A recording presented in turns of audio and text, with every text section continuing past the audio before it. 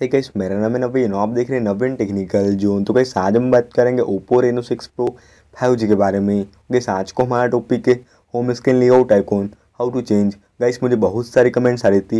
इस फ़िक्र हमारे पोस्ट में हम कैसे होम स्क्रीन लेआउट आइकॉन को इजील तरीके से चेंज करें। तो इस टॉपिक के बारे में कुछ बताइए। तो मैं सोचा इस टॉपिक पे वीडियो बनाई देता हूँ। तो गाइस वीडियो को आखिरी तक देखिए एंड समझिए। एंड अभी तक आपने हमारे चैनल को सब्सक्राइब नहीं किए हैं तो प्लीज़ सब्सक्राइब कर लीजिएगा। तो गाइस बिना में वेस्ट करे अब वीडियो स्टार्ट करते। तो आप अपने फ़ोन में देखिए सिंपली करिएगा। सेटिंग्स ओपन कर लीजिएगा। एंड यहाँ पे आप नीचे आएगा, देखिए।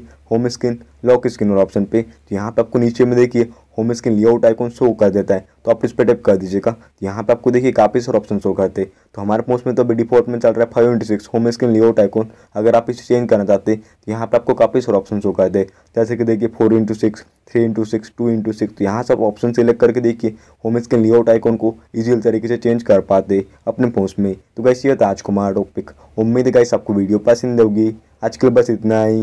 Thank you